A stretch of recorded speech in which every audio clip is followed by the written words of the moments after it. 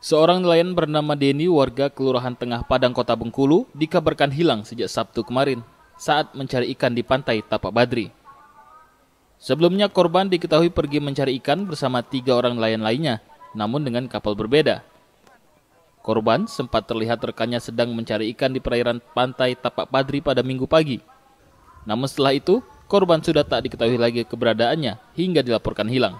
Kita berangkat jam jam pagi Sabtu, Sabtu pagi, terus ma terus mancing uh, ini uh, sampai ke malam hari jam 5 subuh kita ketemu lagi di tengah.